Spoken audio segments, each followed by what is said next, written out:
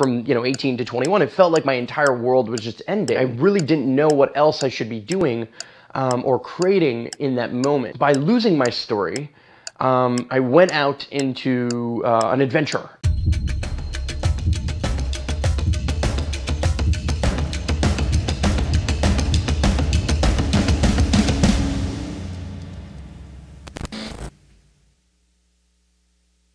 So my journey into storytelling begins when I go out uh, to the other end of the planet after selling my first business, which was an indoor skate park. And, and actually, uh, it's pretty ironic.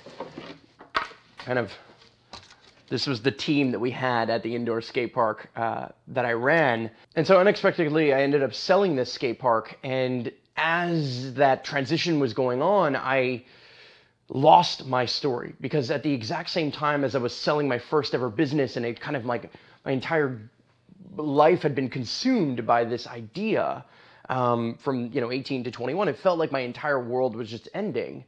And um, and at the same time I was kind of starting or was just about to graduate from university. And so I had been in school my entire life. I had kind of always had this path. And then my my career had really been around the skate park and I couldn't have envisioned or I, I, didn't see past that point. I really didn't know what else I should be doing um, or creating in that moment. And so by losing my story, um, I went out into uh, an adventure. I, I, basically went to the furthest place I could possibly think of on the planet from where I am right now here in Montreal, um, you know, literally sitting in my childhood home, all the way to Australia. And on the way there, I ended up reading this book called NLP for Dummies, which was Neurolinguistic Programming for Dummies.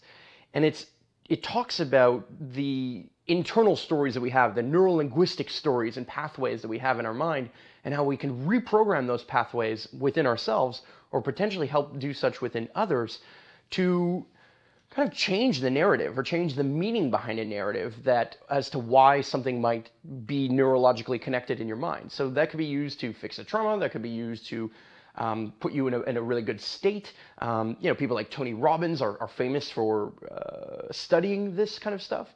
And it just struck me that as I was as I was on this massively long flight all the way to Australia, that I should read this book cover to cover and I should invent a news story because I had none at the time. And so I literally went there and started telling people this story of how I was um, a skydiver and I had kind of mastered the, the, the skies, and now I was coming to Australia to learn and to do more scuba diving so I can master the seas. And I would literally invent this story and and put myself in a position where I would I would be a better listener. Now, before you think I'm some kind of psychopath, uh, I would always tell people at the end after I met them, you know, that oh, by the way, this is this, you know, I told you this fake story, and I was part of, you know, I was kind of running this experiment, and this is who I actually am. Um, but it was incredible to see just what that enabled within me when it came to storytelling. And so, you know, I spent about five weeks in, in Australia and traveling around and kind of testing, you know, the waters on this on this new story and and shifting elements of the story and seeing how different people respond to it. And kind of like when people um, meet somebody new and they're they're so caught up in like saying their own name and shaking their hand that they forget the other person's name. What was amazing is by doing and having this new story, I was hyper aware. I had this incredible presence that um, that had heightened in this scenario. And so all of a sudden, I go from Australia to my next destination, which was China. And I land in China. I had zero plan. I had no idea what I was going to do. I literally had no hotel booked, no hostel, no nothing. Um, and the only thing I had was a Lonely Planet. And this is this is, you know, I didn't have a cell phone. I, I had bought my first little camera right before this trip. I had bought this kind of YouTube ready, you know, point and shoot little camera. And as I'm landing in China, um, I'm like, oh, the, let me go to Tiananmen Square, which is, I guess, the equivalent of the Eiffel Tower in France. Let me go to T- Tiananmen Square. So I get off and I go to this row of taxis, and there's like 40 taxis there because it's China and there's just a billion plus people. Um, and I'm, I'm like, oh, Tiananmen Square. And they're like, huh? And they had no idea what I was talking about. And I'm, and I'm like, Tiananmen Square, Tiananmen Square. And like, and, and then eventually I pull out my book and I show them it. And all 40 of the taxi drivers, even written Tiananmen Square, couldn't understand what the hell I was talking about. So then I, I flipped through the book and I end up finding a picture of it and I'm like, oh, and they're like, oh, okay. And then they, they drive me. And I realized in that moment that I entered into a whole other wave of storytelling. That essentially stories weren't just audio and the things that you say to people and the response that people hear. When I when I thought storytelling, I, I tended to think words, I tended to think hearing. But when I realized that all of a sudden storytelling actually came with symbols, that every time I would go to a restaurant in China that I would literally need to like point out to, to symbols or, or, or mime things and, and play a game where I would, I would make sounds and I would do other things that would kind of elicit what I was talking about. That's when I realized the real power of storytelling. I started to notice symbols that were common. Um, you know, a cross uh, meant religion. Uh, certain symbols meant, or, or an X, a, a different kind of cross meant medical, right? So it was very interesting to learn storytelling from a different perspective. And I started to realize the power of story and that it was going to continuously gain a lot of momentum. I mean, we're talking, this is in 2010, this, this kind of journey that I went on. So this was still the ramp up of Facebook, uh, Twitter, social media, YouTube, all these things had kind of just come out and they were starting to gain ground and, and people were getting really, really hooked onto them. Um, but they were still young. It was still a different time in the world of social media and in the world of storytelling. And so it enabled, um, I just realized that this was a wave, that there was a movement happening around the globe of storytelling, and that essentially at the exact same time, technology was catching up. Point and shoots and DSLR cameras and the equipment was getting to a state in which anybody could now be a professional. Anybody can out can go out there and run and gun essentially. It's you know an industry term for for going out there and literally just shooting a bunch of different stuff and, and piecing it together later for YouTube or for social. And I just absolutely knew, I absolutely knew that the, that the world was going to change. I absolutely realized the power that these cameras would yield and that I needed to learn how to storytell. And that became really clear to me when the entire time I was in uh, Australia, I was taking these pictures and, and I, was, I was shooting a couple of little video clips. I was mainly doing photography though. And I realized just how beautiful of an expression that this was, this was creating in me. That everywhere I would go, I was kind of, I was adopting the first ever moments of real nostalgia, right? Of, of understanding this that life was kind of passing me by and that if I had a picture or a video to be able to, to capture that moment, then I could relive it, that I could go back to it, that I can be in this position where, um, where I could, where I could build a real memory, a real neurological pathway. And, you, you know, I was rewiring and, and creating these back paths in the exact same way that I'd learned neurolinguistic programming through video. And so I absolutely fell in love with video. And then as I landed in China, China and I was at Tiananmen Square, my camera broke and it just stopped working. And I had all these beautiful memories and, and I, I just, there's only so few pictures of that moment. But what I realized is in that moment, I was the most free I ever was. And, um, and, and that's when I fell in love with, with photo and video. That's when I fell in love with creating content that's when I realized that my, my life was going to change and I, I understood the next chapter of what I was going to build as an entrepreneur. When I came back um, to Montreal after my journeys and I had gone to Europe and all, the, all these other places, I literally did the tour of the world. When I came back, um, I realized that one, the first thing I needed to do was buy a laptop and buy a camera because this was something that was going to be incredibly important.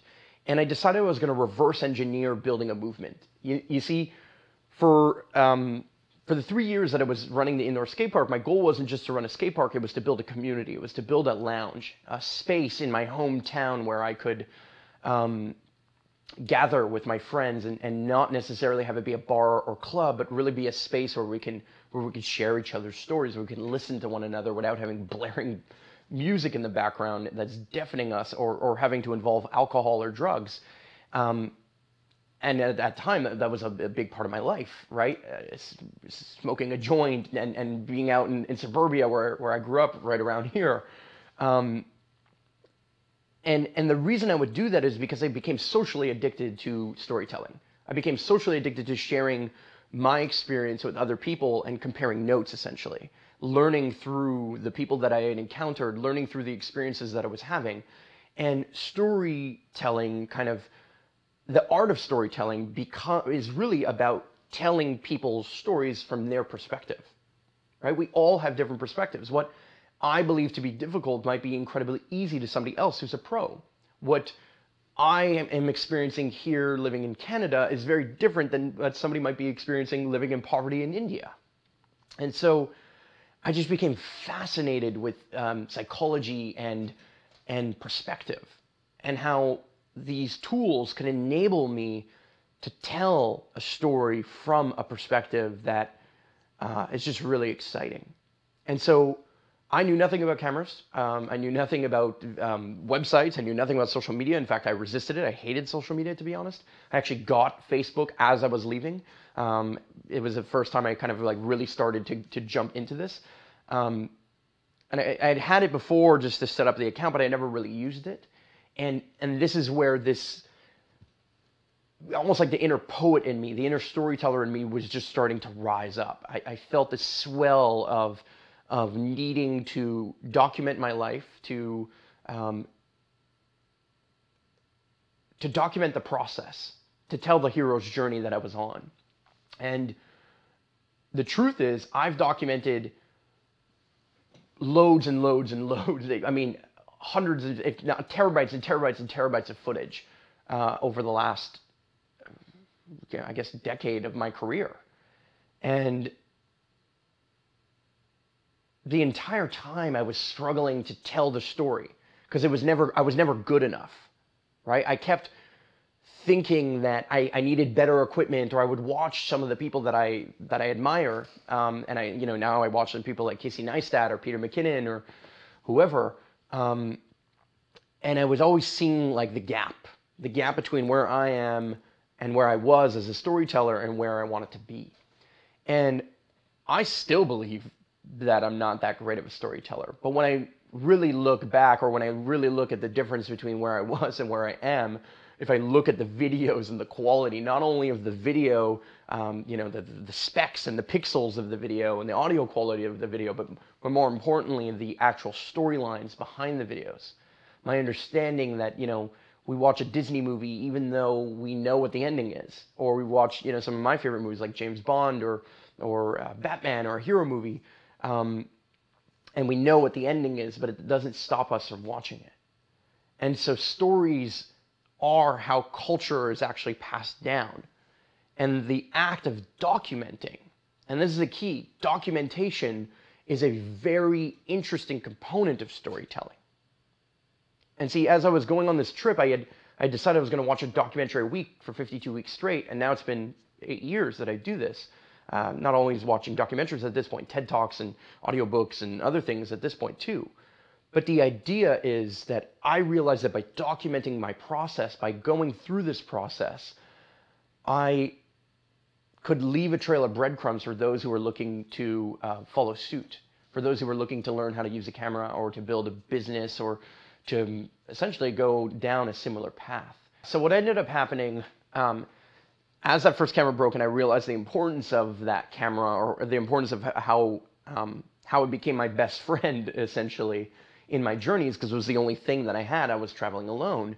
Uh, when I came back and I bought the gear and I started filming and creating stories, I started realizing that I was gaining attention for those stories. I would put them out on YouTube and then like it would go, it would move. And this one moment, I, I went in, I ended up at Occupy Montreal, and um, the Occupy movement was gaining momentum, and, and here in Montreal had a strong showing. And I'm there, and I see one of my good friends. His, his, name is Lawrence, but at the time I didn't really know him. We went to the same high school, but we were in different grades. And uh, I'm there, and he's like, "What are you doing here?" And I was just there filming. I had like this like shoulder mount rig thing, and I had a Canon 6D, 60D, sorry, which is a good camera at the time. And I was like so stoked, and had a little shotgun mic and everything. And uh, and I was just filming. And he's like, What are you doing here? And I'm like, Oh, I'm, I'm just looking for the story. I'm trying to tell the story of Occupy. And he was like, well, well, wait a second. Are you a journalist? Like, do you work for, you know, a newspaper or something? And I'm like, no, I'm just, I'm just here to document. I'm just here to figure out what the story is. And as we're having that conversation, shit you not, David Suzuki just pops up. And for those of you who don't know who David Suzuki is, he is a, a kind of a famous environmentalist. He's in, particularly here in Canada. He's done amazing work around the globe, but particularly out west. Um, and I won't go into too much into the story, but the idea is so David Suzuki's there, and I run up to him. I'm like, that's David Suzuki. And I run up to him, and, and Lawrence follows. And I film this quick little interview. I'm getting his thoughts on Occupy and what's going on. And he gives me this passionate rant. And it was the first time that I realized, wow, David Suzuki's job is to be an influencer, to be a storyteller. And he told the story of what was happening in the cultural narrative, in the movement of Occupy, and what it meant and what it was expressing as a culture at that time and our frustrations with that cult, with their culture at that time. And so I go home and I, I, I, edit the video, and this is like one of my first ever videos. I mean, literally the first ever video I, I created was my grandmother's recipes of, of, her, of, her, of her work. But this is one of the first ever videos that I'm, I'm creating and uploading online. And so I upload this video, and like within a short period of time, I think it got like 50,000 views, which in my world was like viral. Like I was like, oh my, like, like what is happening, right? And I was so excited. And I, I got so excited that I ended up going to Occupy Wall Street. I literally went to New York with Lawrence and, and it inspired. And so I filmed there and then I get an interview with Don King. And then I met, you know, one of these people who I'd been watching um, from uh, We Are Change called Luke Rudkowski. And I was, because I was uh, into conspiracy theories at the time. So I started to realize just how much I loved content. And I went from being a content consumer to a content creator in that moment. And I started to tell that story. And I documented everywhere I was going, and I just became obsessed. Like, absolutely obsessed with documenting this movement to the point where when I came back to Montreal, I decided I was going to start a movement.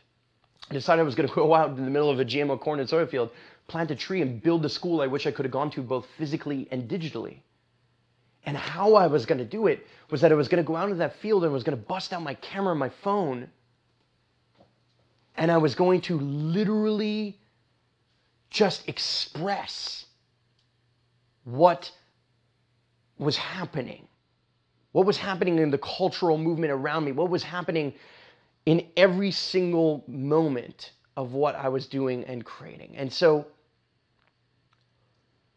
planting that tree out in the middle of the GMO cornfield was was kind of me making a statement that I was going to build the community that I that I I wanted and I wanted to be a part of.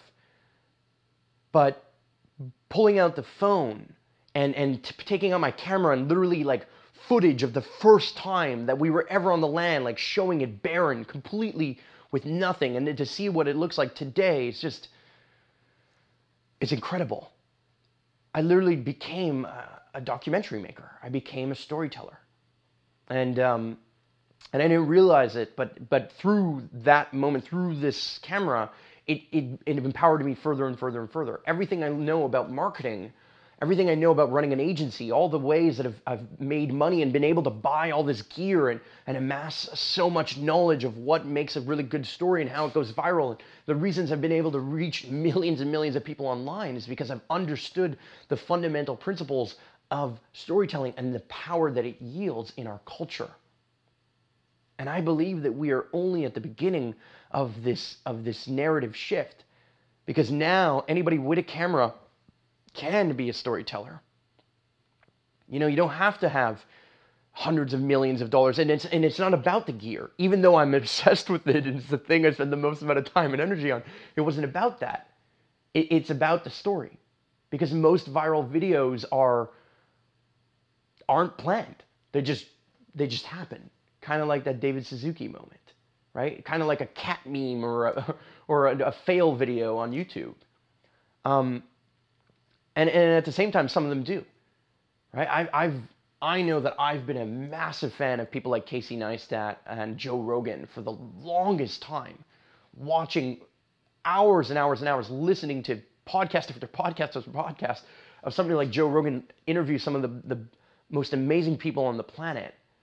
Um, and inspire me consistently and, and, and inspires me you know it's one of my impossiblest dreams to, to be on joe rogan's show it's one of my dreams to create a vlog and to do this stuff. And i've struggled honestly. Um, i've had the biggest struggle in my life trying to consistently tell a story and realize that i can if i can move from the process of documenting to to literally processing that footage, realizing the stories behind it, and then putting it out and disseminating and distributing those stories, that that is a, a very intensive process. And so I became good at telling stories. I understood how to shoot stories, but I, I was kind of missing the piece in the middle of processing that story and really building that, that team around me. Um, but now that's changed now that's really started to shift and, and change. And it's because I'm creating this space around me. I'm literally building a story laboratory here in, in, my, in my childhood home, in my parents' basement.